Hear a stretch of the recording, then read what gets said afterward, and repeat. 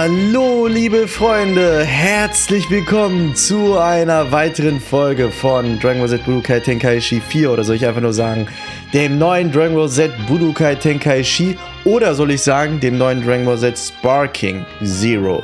Freunde, mein Name ist Melek, falls ihr natürlich den Kanal nicht abonniert habt, dann lasst doch natürlich sehr sehr gerne ein Abo und ein Like da. Freunde, ich freue mich so heftig, dass ich mit euch wirklich eine direkt Stellung nehmen kann zum Dragon Ball Z Budokai Tenkaichi an sich, wann Release sein würde und so weiter.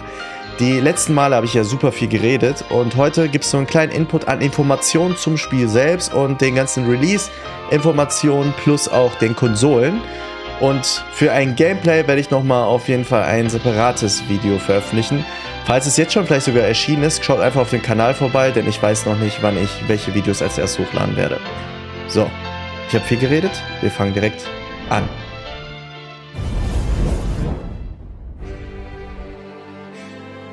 Es ist im Grunde genommen ganz einfach. Wir haben super lange gewartet, wirklich, dass dieses Game endlich mal gezeigt wird. Für mich war das richtig krass. Ich weiß nicht, wie das für euch ist.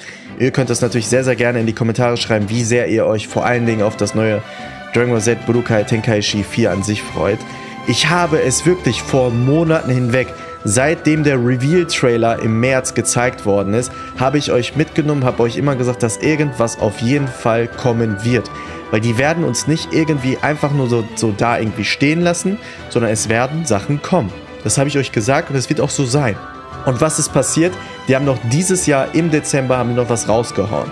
Bei einem Event, wo ich selber nicht gedacht habe, bei einem ja, Game Award Event 2023, was auf uns möglicherweise zukommen wird. Und deswegen sind wir jetzt da auch nochmal an der Stelle, was ich richtig witzig finde. Und wir schauen uns auf jeden Fall direkt die Seite an von Bandai Namco. Ihr erinnert euch vielleicht daran, ich war ja selber auch auf der Gamescom. Ich habe mit einem Mitarbeiter gesprochen auf der Gamescom, sprich der für Bandai Namco vertreten war, und der mir wirklich sagen musste, dass er mir dazu nichts sagen kann, und auch seinen Mund halten muss. Er darf dazu keine weiteren Informationen geben. Aber das spielt doch keine Rolle, denn wir haben jetzt einige Informationen selbst offiziell von Bandai Namco, die auf deren Website natürlich auch steht.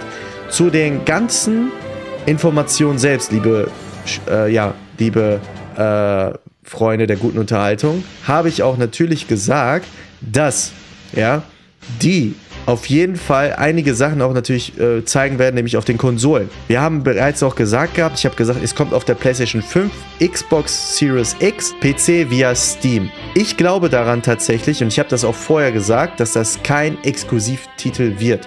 Bedeutet, egal wer was von euch vorher gesagt hat, ich habe es bereits auch gesagt, dass das Game sogar auf anderen Plattformen erscheinen kann. Ja, also wir haben es hier nochmal bestätigt mit den Informationen, die ich vorher gesagt habe.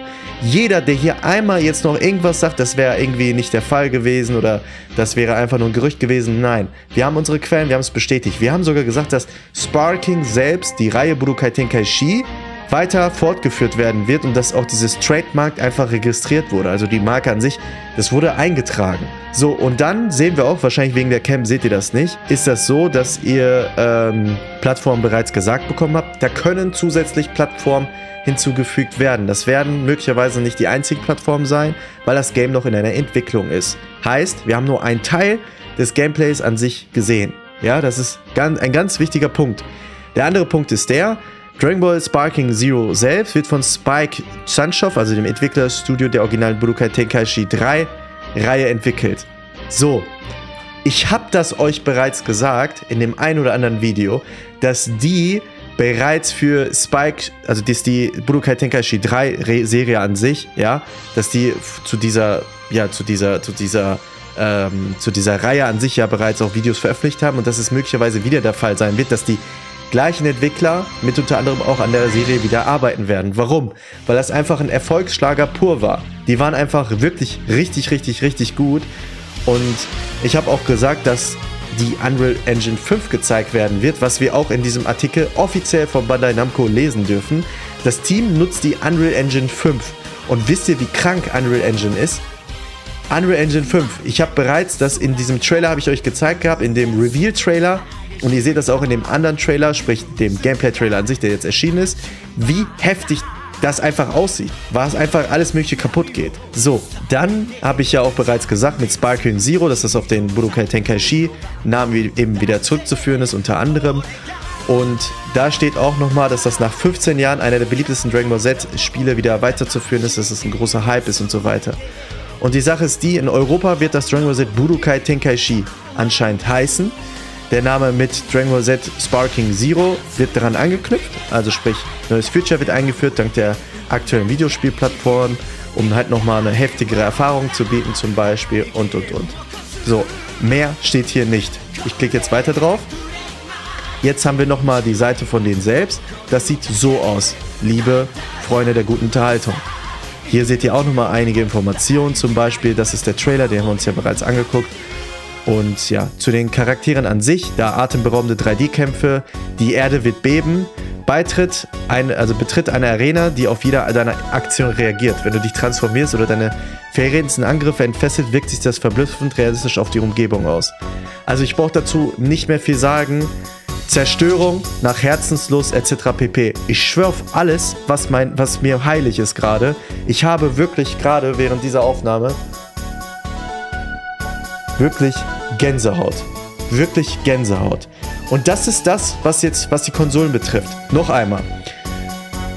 Es muss nicht zwangsläufig so sein, dass das Game nur auf diesen Plattformen erscheinen wird. Bedeutet, wir werden weitere Informationen möglicherweise bekommen. Ja? Und was auch euch aufgefallen ist, die haben sich natürlich ein bisschen davon inspirieren lassen von Dragon Ball Z Kakarot, die das Game natürlich sehr, sehr schön dargestellt haben.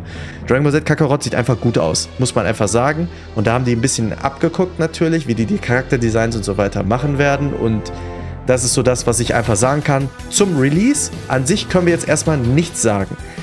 Es ist klar, dass da Wishlist steht, das heißt, es ist noch nicht konkret. Warum ist das nicht konkret? Weil die noch in einer Entwicklungsphase sind. Ich persönlich glaube, dass das Game zeitgleich mit GTA 6, also sprich 2025 vielleicht sogar rauskommen kann. Ja, und das wäre das erste Gameplay vielleicht. Ja, also entweder Ende des Jahres nächstes Jahr oder nächstes Jahr irgendwann zu Januar, Februar, März irgendwie oder so, kann ich mir das vorstellen. Und ich kann mir vorstellen, dass das auf der Gamescom gezeigt wird zum Teil. Ein Trailer, noch ein weiterer Trailer oder so. Wir haben jetzt ungefähr ja, ein paar Monate noch zwar zu Gamescom, aber ich kann mir persönlich nicht vorstellen, dass das Game schon vielleicht nächstes Jahr erscheint. Wenn das passiert, dann ist es schön. Dann werden wir auf jeden Fall aber vielleicht in Las Vegas, Nevada oder halt bei den Dragon Ball Tournament im Januar vielleicht mehrere Informationen bekommen zum Spiel. Aber das ist noch lange nicht das Ende. Es kommt noch so viel dazu zu diesem Spiel selber. Es kann gar nicht Ne, es kann gar nicht so dass das Ende sein an sich, dass, dass, dass, dass wir so wenige Informationen haben. Das wird sich aufbauen. Ich möchte auch, dass sie sich Zeit dafür nehmen, weil das wird einer der heftigsten Games überhaupt. Das wird einer der heftigsten Games überhaupt. Plus eine weitere Information bezüglich der, der, der, der, der Kampagne, des Kampagnenmodus. Im Game wird einen Kampagnenmodus geben. Im Game wird auch Singleplayer logischerweise geben. Logisch, wie auch immer. Multiplayer wäre geisteskrank, wenn man online kämpfen könnte. Sprich, jemand aus der Community von Melek spielt mit jemandem von euch draußen. Das wäre geisteskrank. Und dann könnten wir sogar über Discord irgendwelche Turniere veranstalten oder kommt einfach auf meinen Discord-Server drauf und dann können wir da vielleicht irgendwas organisieren. Das wäre Bombe. Das wäre richtig geil. Das wäre Baba. Das wäre unnormal geil. Wirklich. Ich bin sehr, sehr, sehr, sehr überrascht. Ich bin sehr, sehr überzeugt von dem Spiel. Ich habe ein sehr, sehr gutes Bild von dem Spiel. Es trifft genau so ein, wie ich es auch gesagt habe, liebe Freunde der guten Unterhaltung.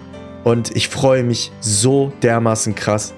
Die nennen das auch Sparking Zero und nicht Chenkai Shi, sondern es nennt sich wirklich Sparking Zero. Wir sind im EU-Bereich, bedeutet, das Game wird auch so heißen. Also das Game heißt Sparking Zero. Ja, ich weiß, dass es eine Übersetzung ist. In Japan heißt das so aber, aber trotzdem anders diesmal übernommen, dass das nicht mehr Tenkaichi heißt, sondern Sparking Zero. Ist im Endeffekt die gleiche Bedeutung, nur halt anders geschrieben. So, mehr habe ich erstmal nichts zu sagen. Wir sehen uns auf jeden Fall in der nächsten Folge, wenn ich vor allem auf das Gameplay nochmal eingehen werde. Da unbedingt einschalten. Ich freue mich extrem. Lasst mir sehr, sehr gerne eure Meinung in die Kommentare, wie ihr diese Entwicklung findet. Wie gut ihr das findet. Findet ihr es schlecht? Findet ihr es gut?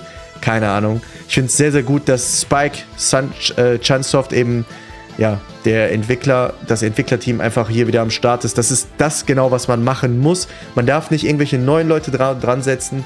Man, sonst würde man das Game möglicherweise sogar verhauen. Das ist meine Sichtweise. Deswegen bin ich sehr, sehr froh, dass es so ist. So, jetzt bin ich aber raus. Abo und Like nicht vergessen. Haut rein. Ich liebe euch. Ohne Scheiß. Ich habe mich so gefreut. Ich war auch kurz vorm Tränenzusammenbruch, muss ich sagen, als ich den Trailer gesehen habe und auch danach. Das habt ihr nicht gesehen, weil das im Offline war. Ich war echt so emotional, dass wir endlich das so erleben dürfen. Das ist so eine geile Zeit. Das ist so geil. Das ist das beste Dragon Ball überhaupt, wirklich.